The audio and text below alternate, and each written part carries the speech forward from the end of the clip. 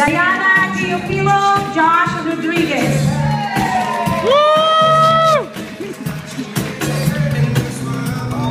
And the maid of honor and the best man, DG, Alaipele CJ Amir.